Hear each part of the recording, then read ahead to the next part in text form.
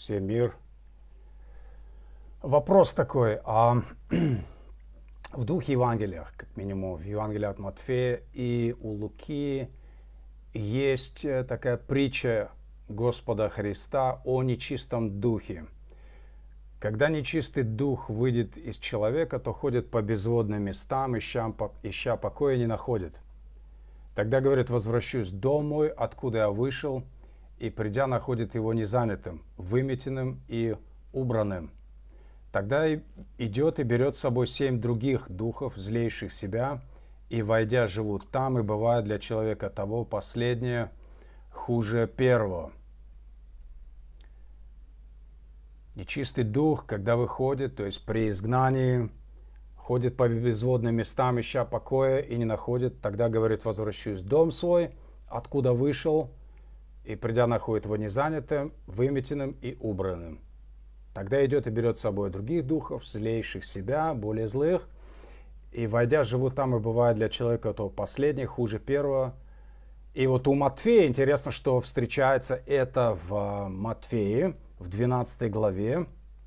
Вот эти стихи с 43 по 45 стихи. Также это встречается в Евангелии от Луки в 11 главе. Интересно, что у Матфея особенно Господь говорит так, будет и с этим злым родом.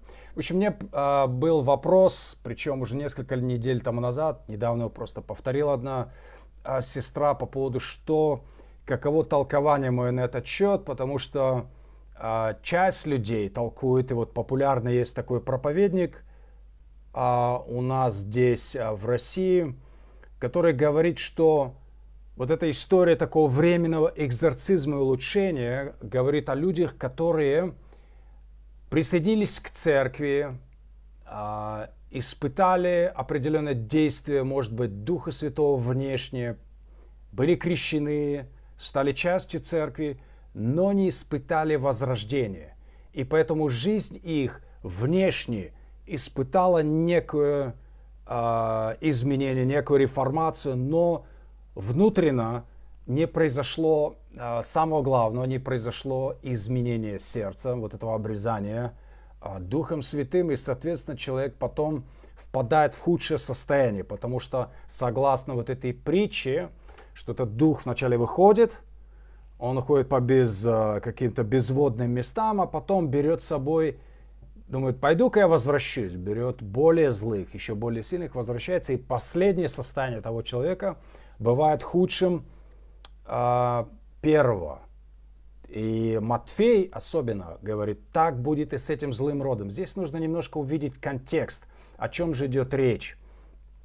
Я, в принципе, соглашусь с тем, что да, это можно сказать религиозные люди, которые не переживают возрождение, но здесь гораздо глубже. Здесь имеет отношение все к Евангелию, к содержанию нашей вести и того, что слышат люди – и здесь речь об отношении к Иисусу Христу, а не просто, так сказать, возрождение. Здесь э, совершенно другой акцент. Обратите внимание, что у Матфея это, впрочем, у Луки также говорится о бесноватом, слепом и немом, который приводит к Иисусу. Это с 22 стиха в Евангелии от Матфея, 12 главе. Здесь говорится, тогда привели к нему бесноватого, слепого и немого. Он исцелил его так, что слепой и немой стал и говорить, и видеть. И дивился весь народ и говорил, не это ли Христос, сын Давидов? Фарисеи же, услышав это, сказали, он изгоняет бесов не иначе, как силою Вельзевула, князя Бесовского. Но Иисус, зная помышления их, сказал им, всякое царство, разделившееся само в себе, опустеет, и всякий город или дом, разделившийся сам в себе, не устоит – если сатана сатану изгоняет, то он разделился сам в себе, сам собой, как же устоит царство его? И если я силою Вельзевула изгоняю бесов, то сыновья ваши, чьей силою изгоняют? Посему они будут вам судьями. Здесь я остановлюсь на секунду и в скобках отмечу, что часто имеет в виду ну, вот, практику экзорцизма у иудеев. И когда сам Господь говорит, что если я силою Вельзевула, Вельзевул дословно князь мухи, а князь бесовский, правитель нечистых духов, бесов, он говорит, если я изгоняю силу Вильзевула, князя бесов, изгоняю бесов, то сыновья ваши чей силу изгоняют? Некоторые понимают это как, опять же, практику экзорцизма у иудеев в первом веке. Но речь идет здесь, скорее всего, о том, что сыновья ваши, то есть те, которые примкнули к Иисусу, ученики Его, когда благовествовали, происходило изгнание бесов. Потому что всякий раз, когда происходит проповедь Евангелия, происходит так называемый экзорцизм.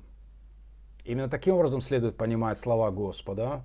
А, в этом же Евангелии от Матфея, например, «Не твоим ли именем мы изгоняли бесов и творили чудеса?» Все это имеет отношение именно к проповеди Евангелия, потому что когда возвещается Слово, и когда верою принимают сосуды милосердия, сосуды милости слова, происходит изгнание бесов, потому что человек по природе своей является обиталищем всего нечистого, как написано, полон костей всего нечистого. Так говорится об, иуде... об фарисеях, но то же самое можно сказать о всех.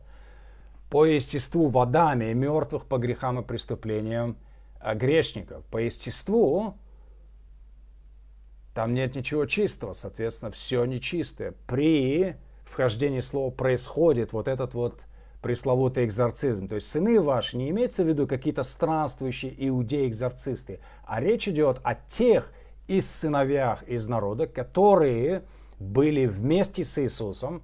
И в Евангелии от Луки, например, посылают учеников, 70 учеников, которые ходят по городам в Израиле и благовествуют. И таким образом происходит изгнание э, нечистых духов, а не как-то через какие-то определенные пасы, какие-то приемчики, как э, часто показывают в голливудских фильмах, какими-то заклинаниями.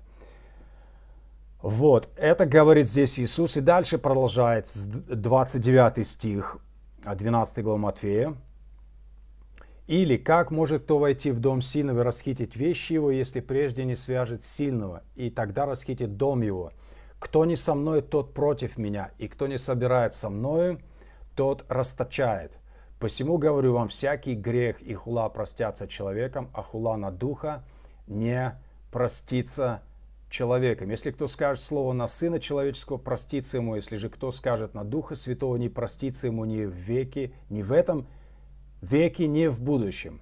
Или признайте дерево хорошим и плод его хорошим, или признайте дерево худым и плод его худым, ибо дерево познается по плоду. Порождение хидины, как вы можете говорить добрые, будучи злые, ибо от избытка сердца говорят уста. Добрый человек из доброго сокровища выносит доброе, а злой человек из злого сокровища выносит злое. Говорю же вам, что за всякое праздное слово, какое скажут люди, дадут они ответ в день суда, ибо от слов своих оправдаешься и от слов своих осудишься. Это все ради контекста читаем, кое-что прокомментируем.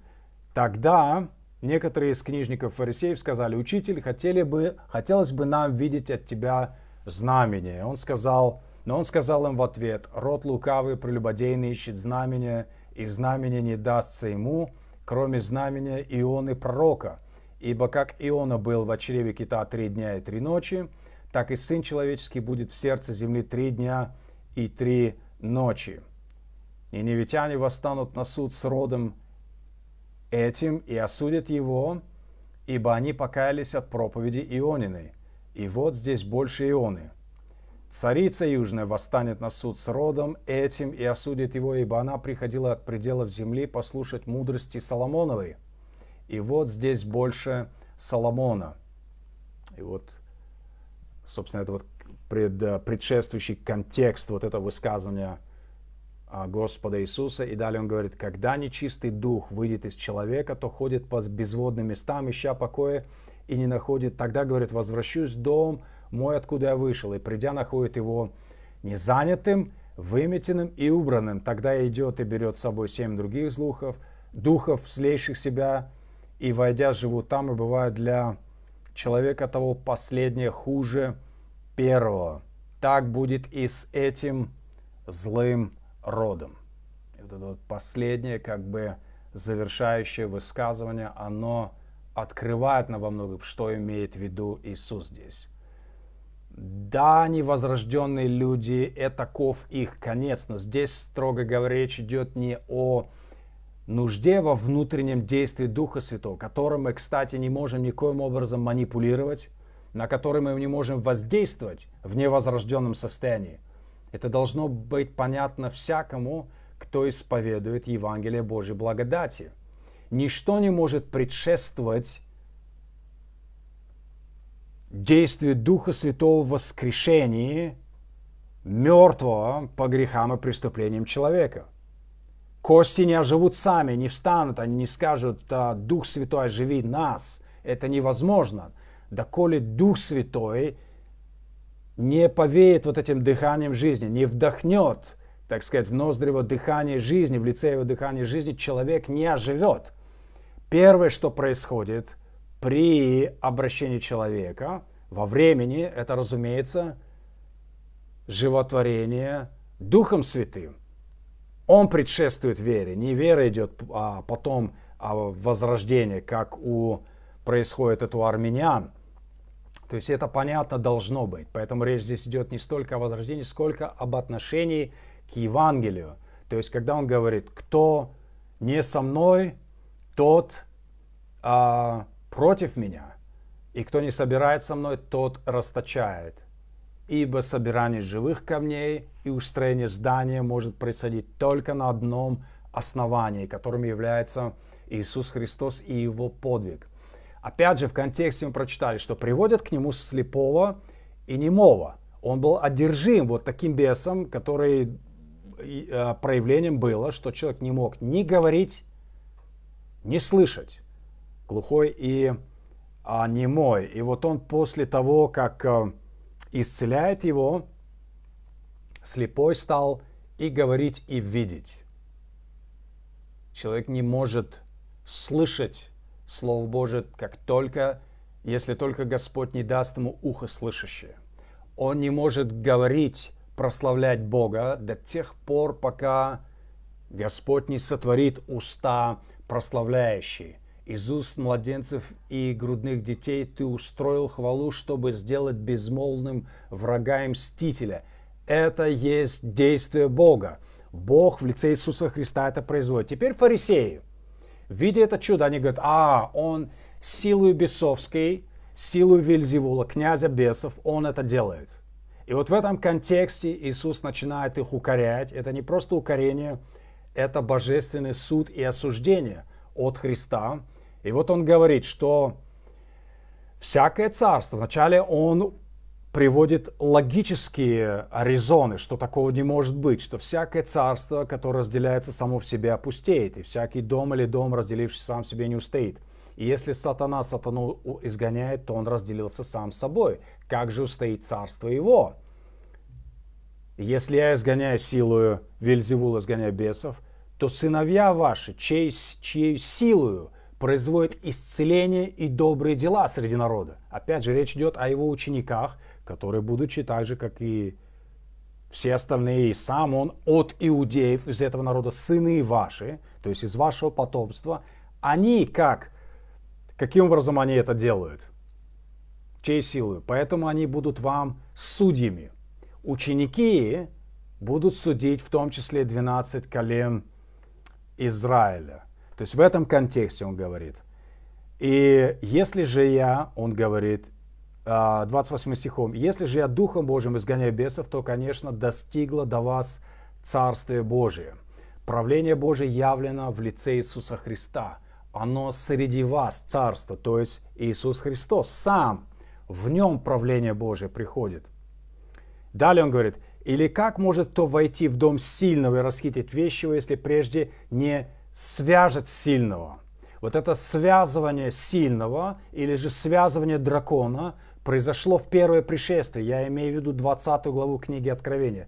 Тот же самый глагол связань, связывание, сковывание э, дракона в 20 главе э, книги Откровения произошло, когда Христос пришел. Он связывает сатану так, что он не может обольщать народы, как прежде, ибо явился свет миру. И народы, которые сидели во тьме до этого, увидели свет великий.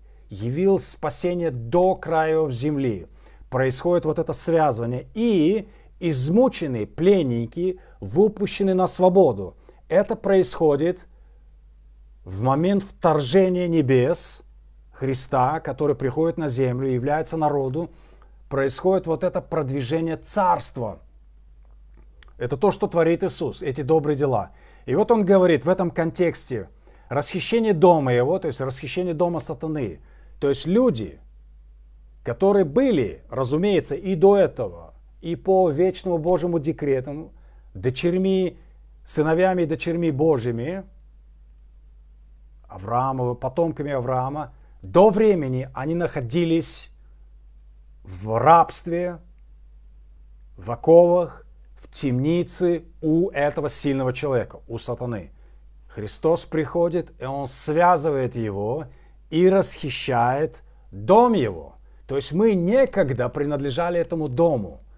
По делам нашим, по преступлениям, по Божьему вечному избранию мы всегда были Божьими, но до времени мы были пленниками у имеющего державу смерти, то есть дьявола. Вот что делает Иисус своими добрыми делами. И вот в этом контексте он говорит, кто не со мной, тот против меня, и кто не собирает со мной, тот расточает. Посему говорю вам, всякий грех и хула простятся человеком, а хула на духа не простится человеком. Если кто скажет слово на Сына Человеческого, простится ему. Если же кто скажет на Духа Святого, не простится ему ни в, век, ни в этом веке, ни а в будущем. Что он имеет в виду? Явное учение его или же смысл его пришествия не понимали даже близкие ученики. И они иногда задавали ему э, не очень-то уважительные вопросы, или же сомневались в его миссии, как Петр говорит. Что ты, Господи, да не будет такого. Стал, будь милостив сам к себе. Например, в 16 главе Матфея, когда Христос говорит, что Сыну Человеческому надлежит теперь взойти в Иерусалим, пострадать, быть отвергнутым и убитым, и на третий день воскреснуть. Петр говорит, нет, этого с тобой не будет. То есть, и, и настолько, что Христу пришлось обличить Петра и сказать, отойди от меня, сатана. Но это проститься. То есть, слово на Сына Человеческого в том смысле, чтобы непонимание полноты миссии, ради чего Он пришел, или даже когда ставят под сомнение то, что Он делает, проститься, согласно Иисусу. Слово, кто скажет слово на Сына Человеческого, простится ему. Если же кто скажет на Духа Святого, не простится ему ни в, ни в всем веке, ни в будущем. Речь не идет о какой-то магической формуле – а, о чем-то, каком-то особом заклинании против Духа Святого. Речь идет о том, помните, Иисус говорит в другом месте, не верьте моим словам, верьте делам моим. То есть то, те добрые дела, которые он совершал, например, исцеление человека, бесноватого, немого, и, а, глухого и немого, это было добрым делом. Фарисеи, видя эту силу, видя все эти знамения, видя все эти чудотворения, тем не менее, приписывали это Вельзевулу, князю Бесовскому. Иисус говорит, что это хула на Духа Святого, который свидетельствует, Бог не мерует Духа Своего, дает возлюбленному, делает все это, совершает, и все это приписывается в противоположную сторону, умышленно приписывается – умышленное отвержение Христа. Почему? Потому что он наследник, потому что он истинный царь иудейский, потому что он истинный раб Божий, потому что он обличает мир в том, что дела его злы, он свет, а тьма не объяла этот свет и не хочет выйти к свету, потому что дела людей злы. Вот у этих всех а, а фарисеев, они олицетворение на самом деле зла. Мы часто говорим, о, фарисеи это была такая секта, наиболее строгая, они постились два раза в неделю и так далее, они пытались соблюсти закон. Многие христиане сегодня не понимают, я имею в виду христиане по наименованию, не внутренне таковые, но имеющие вывеску христианской церкви, во многом уподобляется фарисеям, потому что их а, благочестие построено на собственных делах, на своей верности, на своем послушании, на своем посвящении, на своей измененной жизни, на том, что они делают. Не добавивши этого синтеза, синергии дел человеческих ничего не получится, говорят они. И таким образом они утверждаются на собственных делах праведности. А если так, то они отвергают Христа, и кто не со мной, тот против меня. Разумеется, высказывание Христа, кто не со мной, тот против меня, имеет в виду все системы, где Христос не фигурирует вовсе, где Он не нужен. Зачем нужен Христос, если можно построить рай на земле в виде коммунизма? Зачем нужен Христос, если можно построить рай на земле в виде потребительского общества, а, капитализма? как это проповедуют сегодня, где у всех абсолютно равные права, все наслаждаются всеми благами жизни, и с помощью э, технологической, технотронной, не знаю какой сейчас, э, цифровой революции мы сделаем так, что человек будет жить сладко, счастливо и безболезненно. Все системы, где Христос не нужен, кто не со мною, тот против меня. Они являются антихристианскими, но тут имеется в виду также и все те так называемые христианские церкви, которые воздвигают рядом со Христом другие высоты, и которые говорят, мы будем поклоняться и Христу, и также своим подвигам. То, что мы совершили, делу рук своих. Но кто не со мной, тот против меня, и кто не собирает со мной, тот расточает. Ибо только во Христе происходит собирание камней. Только во Христе сшиваются разодранные до этого ткани. Только во Христе дается жизнь.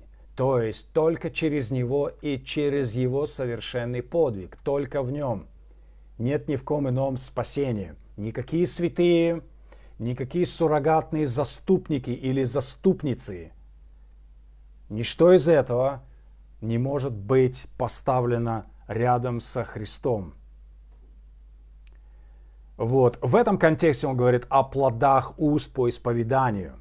Мы часто по плодами говорим, э, что плоды это э, дела, но обратите внимание, он говорит, что признайте или сделайте дерево хорошим и плод его хорошим, или признайте дерево худым и плод его худым, ибо дерево познается по плоду. Обычно мы имеем в виду дела. Обратите внимание, сам Иисус говорит, порождение хидины, как вы можете говорить доброе, будучи злые? То есть плод уст, то, что оправдывает человека или же осуждает его. Что исповедует человек? Надежду на себя? В воскресенье мы говорили, проклят человек, который надеется на человека, и плод делает опорою. То есть на свою верность, на свое послушание, на свое посвящение, на свои какие-то дела рук своих – и вот в этом контексте он говорит э, этому роду, лукавому, который говорит, учитель, мы хотели бы видеть от тебя знамение. Он говорит, э, род лукавый, прелюбодейный ищет знамение, но не даст ему знамени, кроме знамения Иона пророка, ибо как Иона был в чреве кита три дня и три ночи, так и Сын Человеческий будет в земле, в сердце земли три дня и три ночи. Речь идет о его смерти и воскресенье, три дня, на третий день исцелит нас, в третий день пойду в храм Божий. Все эти указания в Ветхом Завете, сокрытые как бы до времени, все указывали на Христа, что Он должен совершить, каков смысл в Его подвиге, в Его страданиях. И можете себе представить, приходит Христос, и вот все Его так сказать, доказательства, свидетельства. Он говорит, не верите словам, Посмотрите на дела. Неслыханно это от основания мира. Помните, даже слепой в слепорожденный в Евангелии от Иоанна, от рождения, который был рожденный слепым. То есть он никогда за всю свою жизнь, проживший лет 40 к тому моменту, никогда не видел э, своими плотскими очами. И Господь открывает ему очи. И потом фарисеи его зовут на допрос. Они говорят, кто это и как он это сделал. Он говорит, я не знаю. они говорят, «А, этот человек грешник. Говорят, фарисеи. Он говорит, ну, грешника я не знаю. Я знаю, что открыл грешников Бог не слышит. Невозможно такое, чтобы кто-то мог делать такое, Бог не был с ним. То есть дела свидетельствуют. И фарисей говорит, он делает это силой Вильзевула, князя бесовского, изгоняет бесов. И в этом контексте Христос говорит, хула на Духа Святого не простится ни веки семь, ни веки грядущим.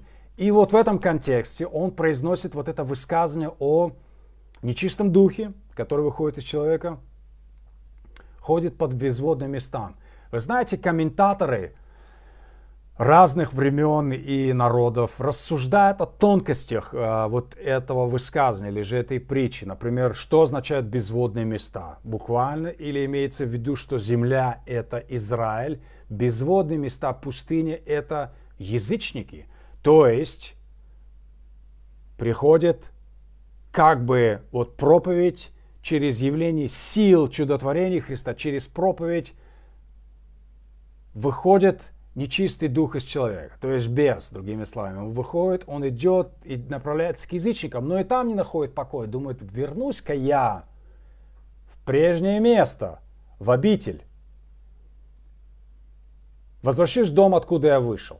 И это, в принципе, можно сказать, что это возможное вполне толкование. Но здесь главное для нас не потеряться в деталях. Или, например, древние отцы и прочие, которых называют отцами, вот это вот представление о том, что в пустынях селятся привидения духи, во многом строили вот на этом высказывании по безводным местам, что типа те, которые выходят из людей, нечистые духи, они где-то поселяются там по пустыне. Но здесь просто написано лишь образным выражением, что выходя из человека, он ходит туда и сюда, но не находит покоя, потому что обитают нечистые духи. Не в развалинах, не в пустынях, но в людях.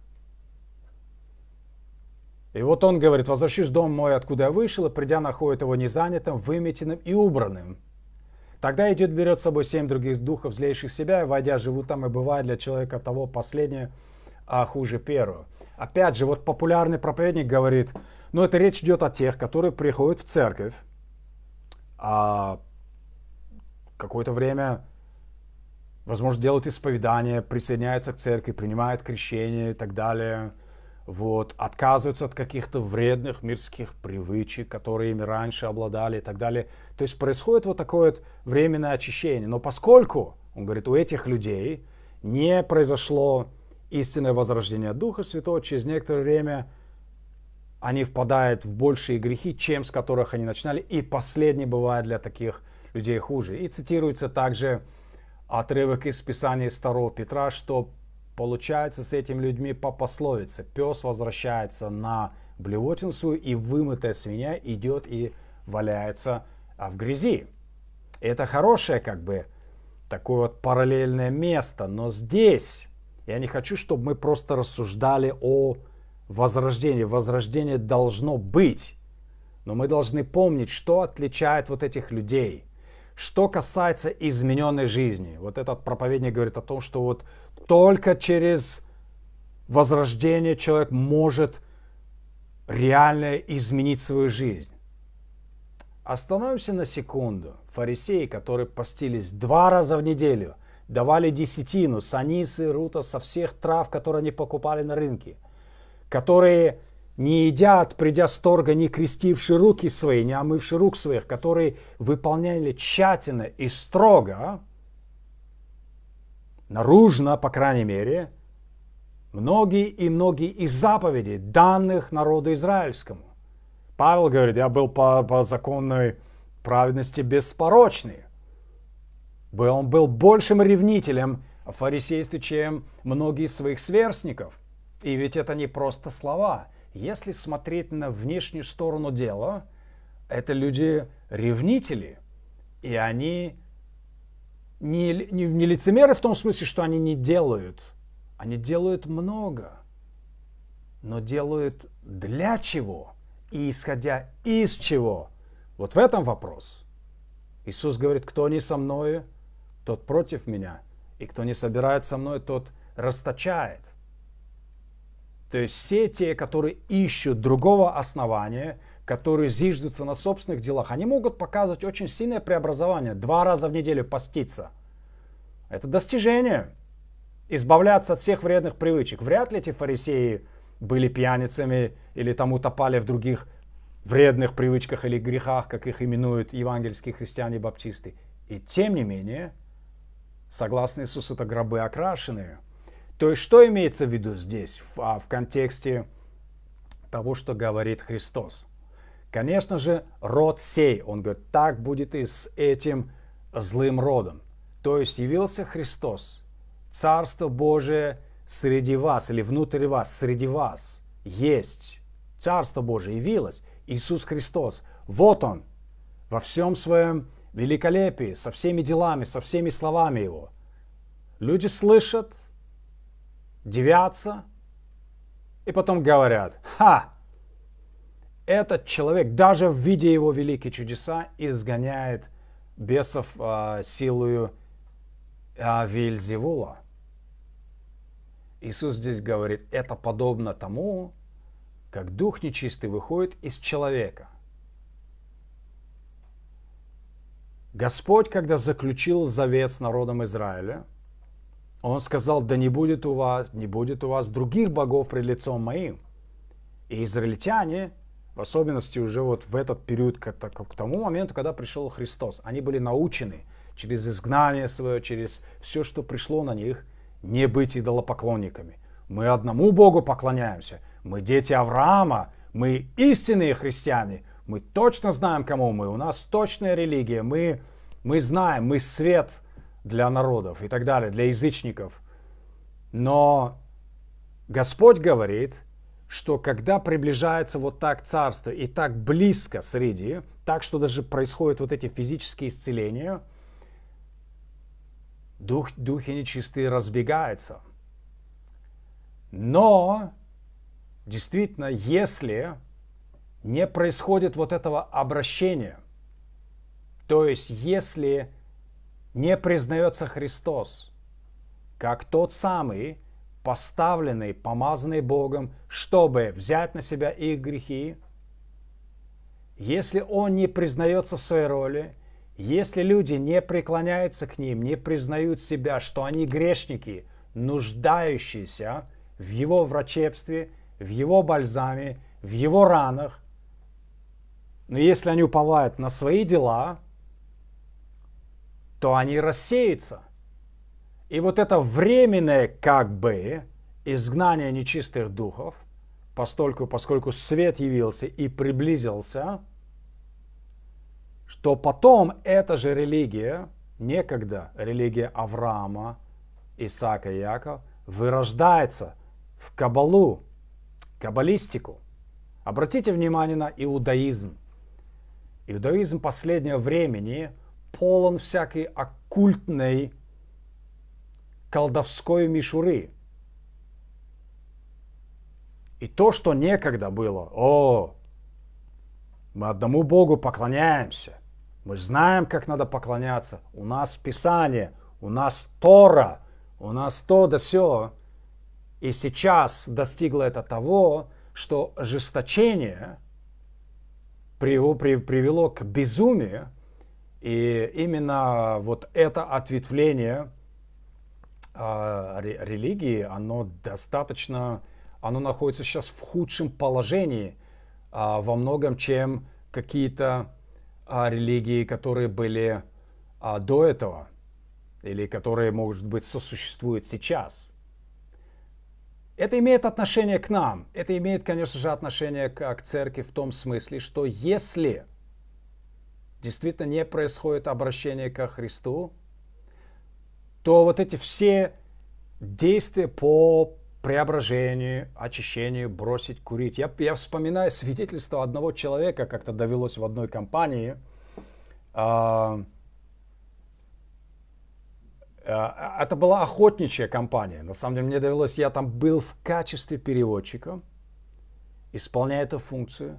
И вот там один из егерей а, выяснилось, что он не курит, то есть не, не курит сигареты. А в то время ваш покорный слуга э, время от времени покуривал. Я уже был верующим, но тем не менее я, я, вот, э, я курил сигареты, за что меня очень сильно э, укоряли э, э, другие, прочие верующие. Но смысл в чем, ирония все здесь, здесь состоит в чем? Что вот этот егерь, он сказал, что как-то на одном собрании, на какой-то домашней группе от какой-то евангельской церкви, за него стали молиться, говорят, ты куришь, мы сделаем так, мы будем молиться, чтобы тебе избавиться от этого греха. И они молились что-то усиленное, то ли возложили на него руки, то ли что-то еще было такое, но кончилось тем, что он действительно, он, э, он бросил курить. А потом спросил, я говорю, слушай, а ты продолжаешь ли ходить, стал ли, находишься ли ты в этой церкви? Вот выяснилось, что он в принципе ни во что в это не верит на самом деле, и в церковь так он не ходит, но классная фишка, классная штучка в том, что он бросил курить, потому что курить вредно для здоровья. Абсолютно согласен, что курить действительно вредно для здоровья, и этого не стоит делать, верующим тем более, потому что они наносят урон а, своему телу, своему здоровью. Вот. Но интересное дело, что вот это как раз-таки является одной из иллюстраций. В то время как можно сказать, истолковать эту историю как «ага, человек не пережил возрождение», и с этим я абсолютно соглашусь, но дело все в том, и вот здесь это уже укорение церкви или же организациям, которые называются христианскими церквями сегодня, потому что часто вместо вести о Христе проповедуется моральное самосовершенствование. Что тебе нужно избавиться от курения, тебе нужно перестать пить или делать еще что-то, то или иное. И вместо того, чтобы благовествовать Христа, Писаний и то, что Он совершил, проповедуются некие моральные установки. И необходимость, допустим, того, что, о, Верующие особым образом одеваются, они не носят мини-юбки или они никогда в жизни не должны одевать джинсы, потому что это мужская одежда, а проклят всяк э, носящий муж и так далее. То есть, когда люди выносят какие-то внешние атрибуты, которые они считают очень важными, и скорее проповедуют их вместо того, чтобы проповедовать Христа. То есть, они не с Ним – они не собирают с ним, они на самом деле расточают. И поэтому даже если происходит некая внешняя реформация или преображение, исправление, внешним образом человек перестал, например, пить или курить, а, классная вещь, но при этом не входит Дух Святой, а вот здесь мы вспоминаем о том, что Дух Святой приходит не иначе, но как по прославлению Христа. Как в 7 главе Иоанна говорит, что Дух Святой еще не был на, на них, потому что Иисус еще не был прославлен. И это произошло не только с первыми учениками, это происходит ныне, что Дух Святой приходит там, где прославляется Христос в проповеди Евангелия. Потому что Дух Святой приходит на то, что очищено кровью Иисуса Христа, для того, чтобы напомнить о том, что он говорил, для того, чтобы наша вера и упование были на Бога. То есть Дух Святой, и чтобы он поселился вот в этом выметенном доме. Потому что свято место, как говорит прусская пословица, пусто не бывает. Там должно быть жилище Духа Святого. Жилище Духа Святого не может быть само по себе, если не будет ясной, четкой, членораздельной проповеди не наших дел, не нашего послушания, а послушания Христа. Если мы не будем говорить вечное Евангелие, то даже если, говорю, будут происходить такие вещи, как временно человек реформировался, перестал какие-то делать вредные вещи, но какой смысл от этого? Потому что нечистый дух ходит и потом берет злейших себя семьи, возвращается, и последнее бывает хуже первого. Но в особенности, конечно, это относится а, к тем людям, которые противятся, сознательно противятся вести о Христе. Потому что это соблазн, это камень притыкания для нашей плоти, который ищет самоутверждение, ищет, чтобы принести Богу что-то от себя. А Евангелие Иисуса Христа унижает, разравнивает а, все эти глыбы, сметает на пути и ставит человека на его место и говорит ему, что человек персть,